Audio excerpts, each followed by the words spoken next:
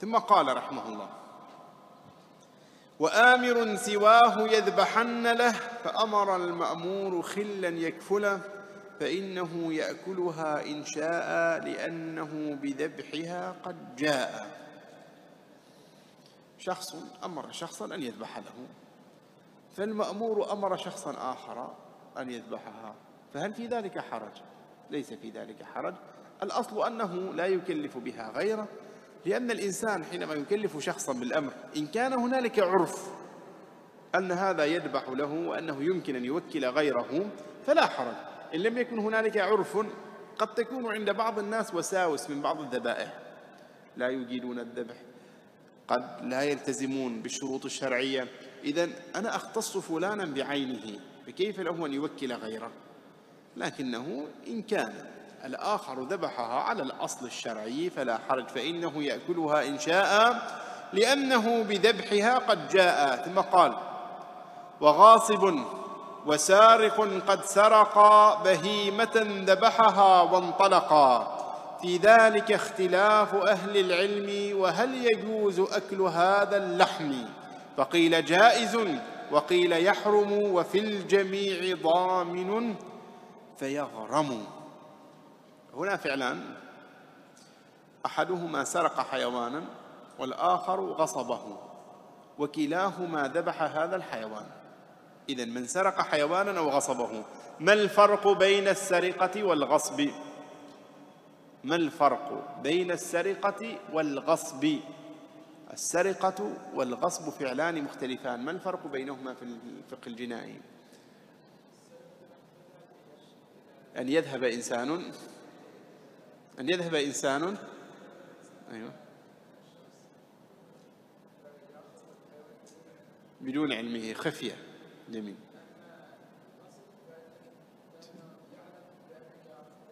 بأنه أخذها. أيوة. جميل. هذا هو الفرق بين الغصب والسرقة. استرح بارك الله فيك. الغصب أن يكره صاحبها أمام عينيه وليس فيه اختفاء.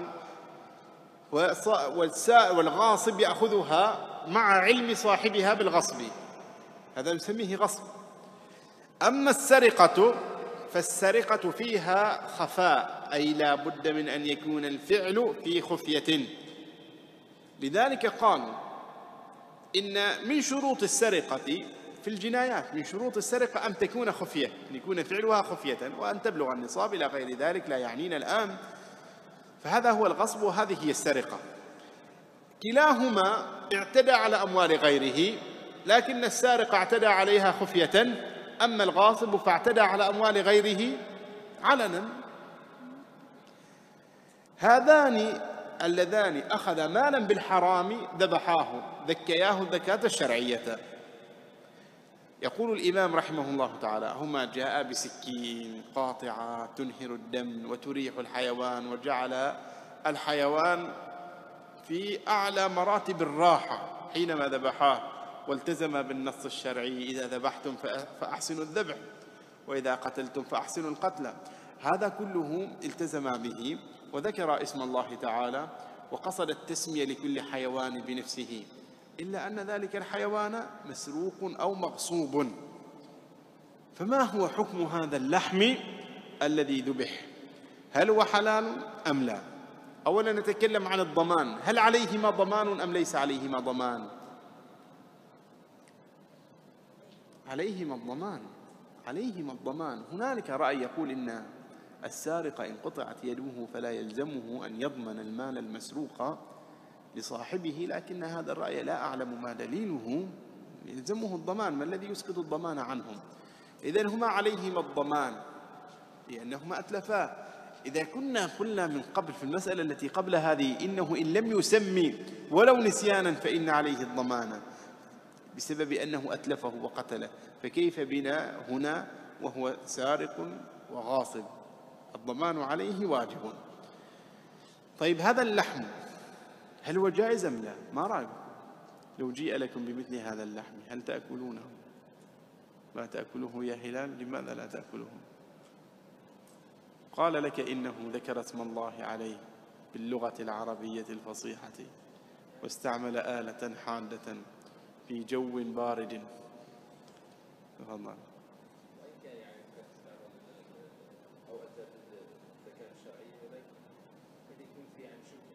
ما هي الشبهة؟ هو هذا الحيوان محرم لكن إلا ما ذكيتم ذكاه لا لا حيوان قائم ليس حمارا ولا أسدا وإنما هو حيوان يجوز ذبحه وأكله. وذبحه لماذا يحرم اللحم؟ ما دخل اللحم في ذلك نعم؟ لأنه مسروق وإن كان مسروقا فما الذي يترتب عليه؟ أريد تأصيلا. أنا ذكرت الأدلة قبلها يمكن أن تجمعوها من الحديث السابق كله. لماذا هو محرم؟ لماذا هو محرم؟ لماذا هو محرم؟ تفضل. استرح له. نعم. طيب وإن كان ليس ملكا لكنه ذكاه وقال بسم الله. نعم. من أين هذا الشرط هل ذكرنا أنه لابد من أن يكون ملكا أنا لو وكلتك أن تذبح لي شاة وذبحتها وذكرت اسم الله عليها هل تحل لي أم لا, أم لا؟ مع أنك لا تملكها أنا الذي أملكها. إذا لماذا في حال السرقة لا تحل؟ نعم تفضل.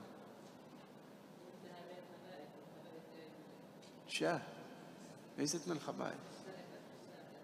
بالسرقة بارك الله فيك. بالسرقة ماذا يكون؟ ما الذي يحصل في السرقة؟ طيب وبعد ذلك وذبح قال بسم الله وسيدفع ضمانها لمالكها. يدفعها بعدين أو قبل ذلك. يدفعه سيدفعها إن شاء الله. نعم تفضل. نعم. لم يوكله أن يذبحها لكنه ذبحها محتسبا. ألا يصح له الاحتساب؟ نعم. أيوة إذا كان لم يذبحها بإذن فمعنى ذلك أن هذه الذكاة لا تجوز. أن هذا التصرف غير جائز بارك الله فيك أن هذا الذبح غير جائز. الآن هذا الحيوان مملوك لغيره. هل له أن يتصرف فيه؟ هل له أن يركبه؟ هل له أن يشرب لبنه؟ هل يجوز له ذلك؟ طيب هذا الذبح الذي يجريه هل هو مباح؟ هل هذا الذبح مباح أم محرم؟ الذبح الذي يجريه وهي مسروقة هل هو مباح أم محرم؟ هذا الذبح محرم أم لا؟ نعم. محرم لماذا هو محرم؟ لأنه ملك غيره فلا يجوز له أن يتصرف فيه. إذن هو منهي عن أن يذبح. شرعا هو منهي عن أن يذبح. بارك الله فيك. منهي عن أن يذبح. إذا إذا كانت الذكاة منهيا عنها معنى ذلك أنها محرمة.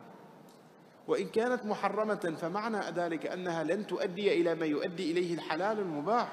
وإلا كنا سنسوي بين الحرام والحلال. فعله منهي عنه. الشرع يقول له لا تفعل هذا. الشرع يقول له لا تفعل هذا. لا تعتدي على أموال غيرك. إذن كيف هنا يقول له لا تفعل هذا وهنالك أرتب عليه أحكاما شرعية وأقول هي حلال. لا هذا لا تحل. هذه لا تحل ما دامت مسروقة ومغتصبة أو مغصوبة هذه لا تحل لأن فعله ذلك محرم. والذكاة قال إلا ما ذكيتم إنما يقصد بها ما كان فيه التصرف مباحا ما كان القطع مباحا. أما هذا القطع فليس مباحا بل هو محرم لأنه اعتداء على أموال الآخرين ولا يمكنك أن تصل إلى الإباحة عن طريق الحرام. يمكنك أن تصل إلى المباح بطريق مباح لما تكون الزكاة في وقتها. أما أن يأخذها بالحرام وأن يذبح بالحرام فلا يجوز. الفقهاء يقولون في الصلاة في الدار المغصوبة هذا الرأي مشهور عند علمائنا وهو أن الذبيحة للحيوان المسروق وللحيوان المغصوب. لا تحل محرمة. قالوا أيضا من صلى في أرض مغصوبة. من صلى في أرض مغصوبة فإن صلاته باطلة. لأنه مطالب بما أنها مغصوبة مطالب بأن يخرج منها لا أن يحدث فيها أفعالا. ما دام هو المغتصب لهذه الأرض وبقي فيها يهنى أخذها من فقراء من المال العام أو من غير ذلك وهو مقيم فيها يعمر فيها ما يشاء من البنايات وهو مأمور شرعا بأن يردها لغيره. إذا مجرد وجوده في هذه الأرض ومجرد تنعمه بمنافعها محرم أو ليس محرما. إذا حينما يبقى يصلي هنا ما هو الأمر الشرعي المتوجه له؟ شخص اغتصب أرضا دارا أو غير ذلك اغتصبها بالحرام. طيب حينما يكون داخلها بماذا يؤمر؟ بأن يخرج منها لماذا؟ لأنها حق غيره ولا يجوز له أن يأخذ حق غيره. طيب ما دامت حق غيره ولا يجوز له أن يأخذ حق غيره. إذا الشرع يقول له أخرج. فلماذا تصلي أنت هنا؟ إذا صلاتك هذه في مقابل أمر آخر يقول لك فيه الشرع كأنه يقول لك لا تصلي. ماذا يقول له؟ أخرج. حينما يقول له أخرج يقولون الأمر بالشيء يفيد النهي عن ضده. يقول له أخرج. معناه لا تبقى مكانك. إذا لا تبقى مكانك تستلزم لا تصلي هنا. لا تصلي هنا معناه أن صلاتك باطلة إن صليت في هذا المكان الذي اغتصبته. كذلك حينما يذبحها ماذا يقول له الشرع؟ التي سرقها والتي غصبها هو يذبحها ماذا يقول له الشرع؟ لا تذبحها. لماذا يقول له الشرع لا تذبحها؟ طيب إذا كان الشرع يهدر هنا يقول له لا تذبحها معنى أن هذه الذكاة لم يأذن بها الشرع. وإن كانت لم يأذن بها الشرع هل ستؤدي إلى إحلال الحر... إلى إحلال ذلك الطعام أو اللحم؟ لا لا تؤدي إليه. فهمتم؟ كيف نفهم هذه القضية؟ على هذا التأصيل بإذن الله. هنالك قال ولا تقتلوا الصيد وأنتم حرم ولا تقتلوا الصيد وأنتم حرم. أي وأنتم محرمون أو وأنتم في الحرم تحتمل هذا وذاك إذا لا تقتلوا الصيد جاء ورأى صيدا ورماه بسهم أو رماه أرسل إليه كلبا واصطاده هل ذلك الصيد مما يجوز أكله؟ لماذا؟ لماذا لا يجوز أكله؟ نعم تفضل نهاه عن القتل إذا لن يكون ذلك القتل سببا لإباحة ذلك الحيوان. بارك الله فيك. إذا المنهي عنه يؤدي بي إلى مثل هذه الأفعال لأن الأفعال المباحة إنما يراد بها أن يصل الإنسان إلى الترفه بالمباحات ولا يمكن أن يصل الإنسان إلى الترفه بالمباحات عن طريق المحرمات. فالمحرمات قائمة على أمر هو أن الشرع يريد إعدامها يريد أن لا توجد في الوجود ولذلك كيف أنت تتقرب إلى ربك بمثل هذه المحرمات؟ فقيل جائز وقيل يحرم وفي الجميع ضامن فيغرم الراجح تحرم بدون كلام في هذه القضية. الراجح تحرم. هل عليه الضمان؟ دون خلاف. يجب عليه ضمانها دون خلاف. يقول وبعضهم شدد في المسروقة لكنني لست أرى تفريقة بعضهم يقول المسروقة أشد من المغصوبة. المسروقة لا يجوز أكلها والمغصوبة يجوز أكلها كلاهما سواء والسبب في ذلك أن الفعل محرم منهي عنه فلا يترتب عليه أثر شرعي لأن الآثار سواء كانت هذه الآثار إجزاء في العبادات أم كانت هذه؟ الآثار صحة في المعاملات والتصرفات الصحة والإجزاء نعم تحصل على الأشياء المباحة ولا يمكن أن تحصل بالأشياء المنهية عنها لأن النهي لا يليق به إلا التضييق. أما الفسحة والإباحة والترفه فهي أمور من نعم الله علينا جعلها لتكون آثارا على المباحات الشرعية.